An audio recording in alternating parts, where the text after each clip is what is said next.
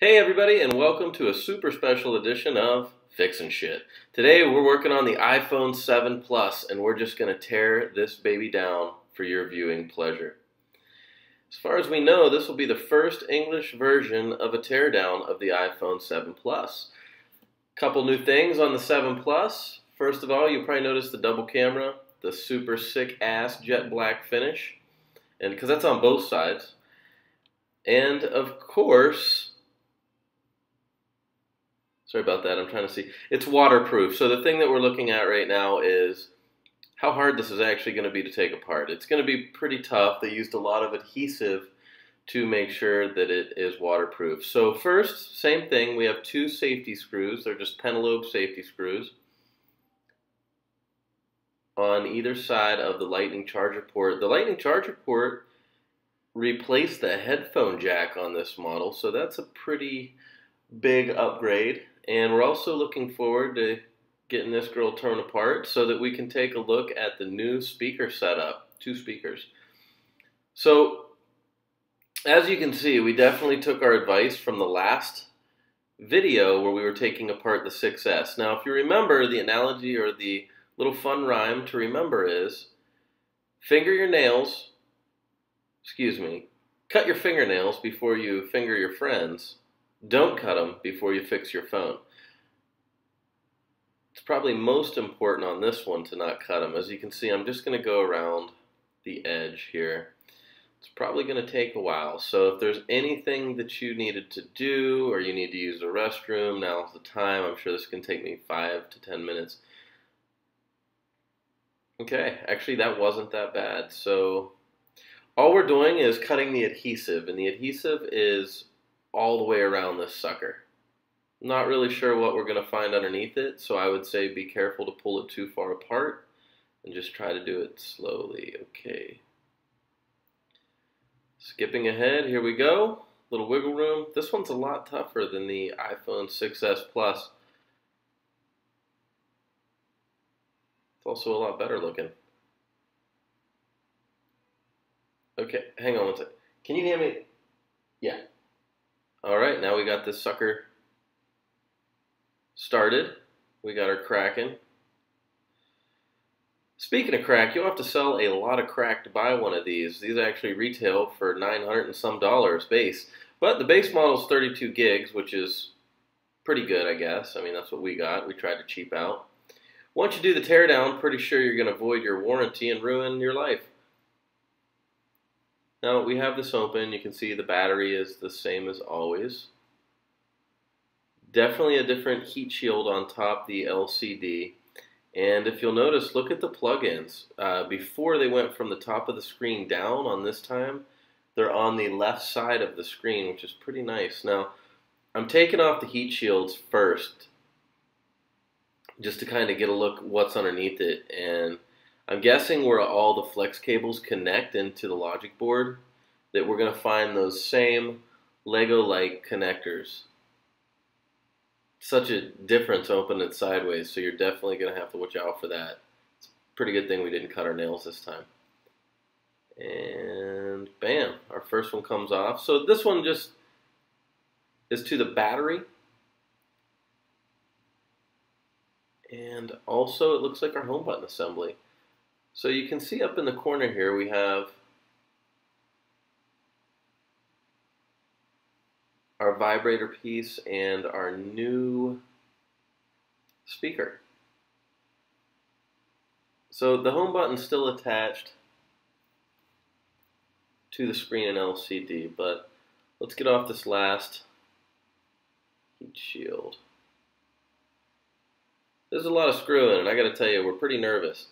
It's like, have you ever screwed someone and you didn't wear a condom and you just spend the next several weeks worried about it? The strange thing is, before you're taking apart the iPhone 7, we ordered it weeks ago. So it's the opposite. We've been worried about screwing her, and now we're finally getting the opportunity and just hoping we don't get the AIDS. Well, we're looking for AIDS as in donors that would like to donate money to our channel, but not AIDS like sexually transmitted diseases. Enough about Magic Johnson. we are very excited about this. So, as you can see, the connections are a little different. And the first thing that we do have to do, though, whenever we're going to do anything, is we're going to go ahead and disconnect the battery. So, I've got to kind of search around here. This is all new. Apple did a lot of nice work here. This thing is a lot tighter than the other ones were packed. And you even notice the bezel around the frame is more molded. It looks cleaner, has more adhesive. It's the i6-7, so you know it's not quite as good as Samsung, but almost there in terms of waterproofing. And you can see the actual connections seat better, kind of, because they're on the side. So I'm not really sure why they did this, whether it makes it more durable or maybe just positioning for the antenna. Um, Okay, so the battery is actually still a 3000 milliamp. Uh, it's rated to give you 12 hours of LTE surfing, which is a lot. So just disconnect the flex cable, same as always, Lego-like connection. And boom, that's it. So now that our battery is disconnected, we want to take a look at what we think is, quite frankly, the most impressive and innovative feature that the iPhone 7 did this year. And that would be the camera. But before we do that, let's uh, shoot. Let's take out the SIM card tray. Just that way we get it out of the way. So same tool, still on the side.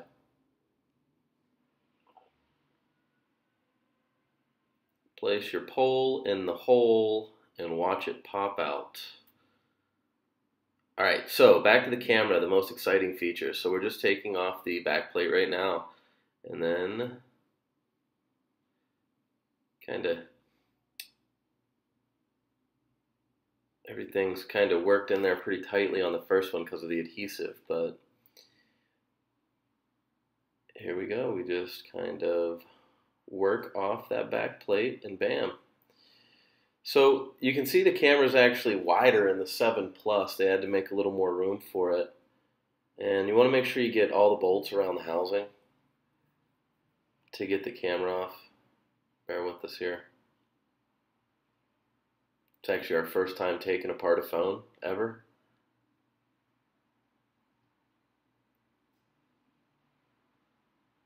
Okay, and there it is from the back. See how it's just snugly in there? So there's two cameras, and the reason that there's two is it makes it a little closer to a DSLR by allowing one to be telescopic. So one camera shoots far, the other one shoots close up, so micro macro.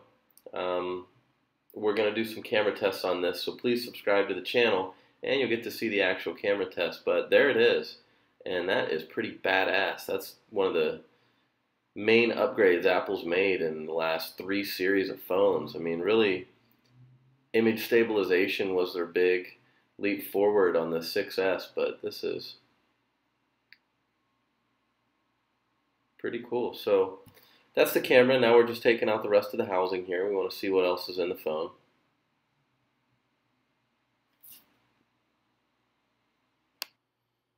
Okay, next we're just going to remove the ringer volume flex and then we're just going to do the antenna removal after that. Now the cool thing is if you buy this at the Apple in West Hollywood, you actually get a mantenna and a stronger vibrator assembly. I'm assuming that's the antenna.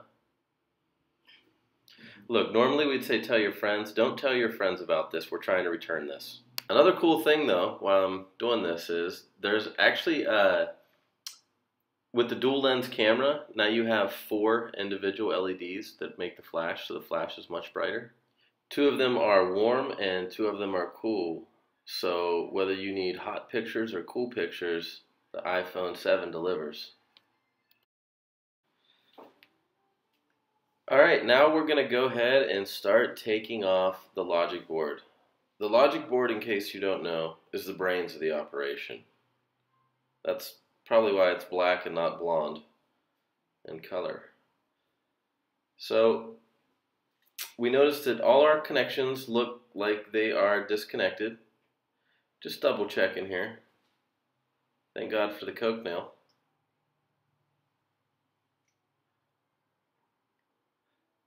Okay, so a lot of this just has a ton of adhesive on it.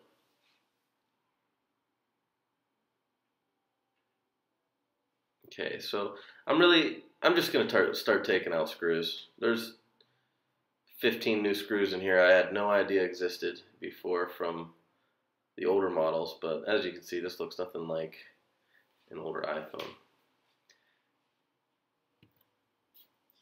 Okay, so it's just screws on screws on screws. I'm just going to start taking little tids and the bits off. I'm not sure if these are the proper names, but we'll call this the plastic doohickey. And off she comes. Alright. Another screw under there. Boom, she's off. One more.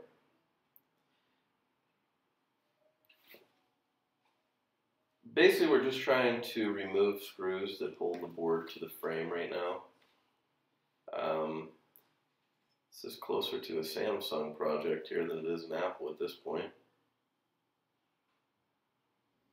As you can see, it just kind of pulls and pops up with my finger like a lot of things these days. And you just wiggle it out. The important thing is to make sure that everything's unscrewed, not attached, and that you're not yanking or jerking too hard.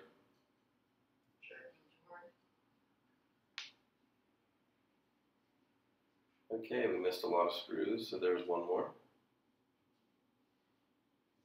All right, let's try this again.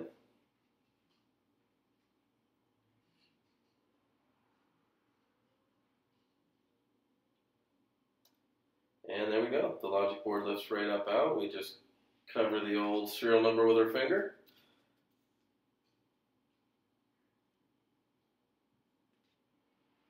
And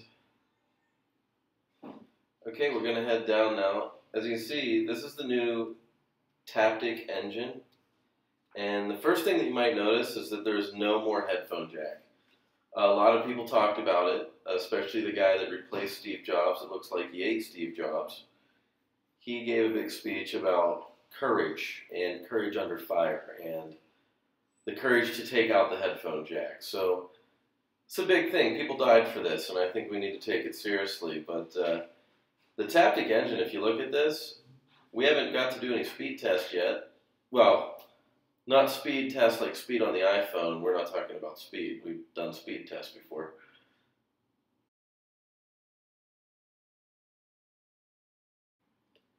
The Taptic engine in this model is damn near double the size of the 6S Plus. And a lot of this has to do with it not really clicking. So you have more sensitivity on the home button itself but when you click it, it gives the sense that you're clicking. You're actually not. This just helps it stay more waterproof. It's a pressure sensitive home button. And just trying to dig out the rest of this. There's a lot of adhesive on this, but man, look at the size of this Taptic engine. Holy crap, you talk about a nerd boner. Wow.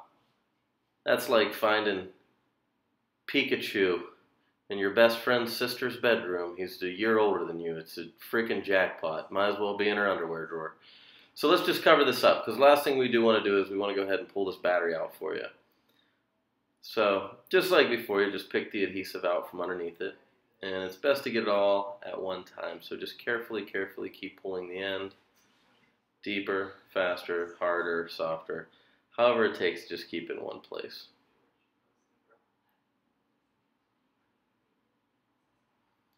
And this is where it's not good to have nails, but bam, out it comes. Okay, don't eat this. Don't eat this. We actually used to eat those, and turns out two people died here in the office. So one more, and it's the same. You just peel down the adhesive from the uh, battery itself. It's kind of folded over. And uh, just pick this one out for you. Oh my gosh. It's like when you used to spit on your little sister's face, or. You know what? I'm actually just going to leave your little sister out of it. And just continue pulling that out. You know, the motherboard itself, we didn't really talk about it too much, but it's a completely different board, mainly because we went to the A10 processor. So it's supposed to be a lot faster. Um, if you want, subscribe to the channel. We're going to do a whole bunch of speed tests, and out comes the battery very easily. Underneath, pretty neat. It's actually contoured, so I don't know if that's more to just keep that machine milled look, or even possibly so everything else fits even more firmly inside of there. It could have something to do with the waterproofing. Uh, could combat battery heat. We know Note 7 had those horrible incidences. It's not even a word, but it did have horrible incidences where people were getting burnt. I heard one gentleman even conveniently burnt his Jeep. Uh, sounds more like insurance money to me, but you know, there's more than one way to skin a pig, as they say. And that's basically it. The home button is a lot smaller, a lot more compact. It's actually part of the glass pretty much. You can see the shield behind it. We'll take that off in a different video. And I mean, that's it. We got the Taptic engine there. The motherboard and the heat shield and the Taptic engine. I got a pair of tweezers sitting there. I got some long fingernails. Uh, here comes the battery. Like I said, 12 hour battery life. And uh, I'll bet it's not waterproof anymore. If you like the video, go ahead and subscribe to us. If you don't like it, don't subscribe to us. We'll never know. All right? Enjoy, and make sure you stay tuned for more iPhone 7 destruction.